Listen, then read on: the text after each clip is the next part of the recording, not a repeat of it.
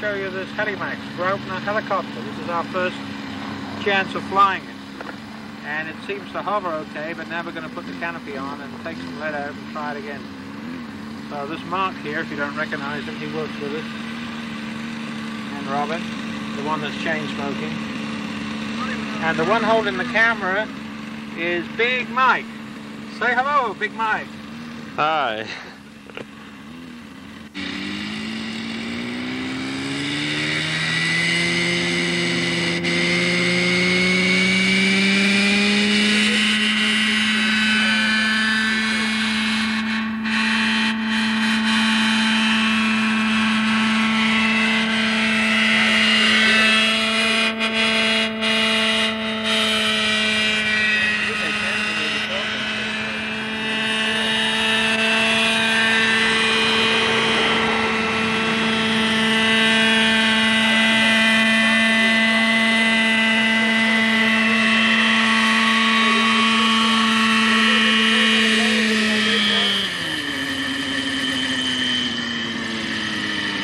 mm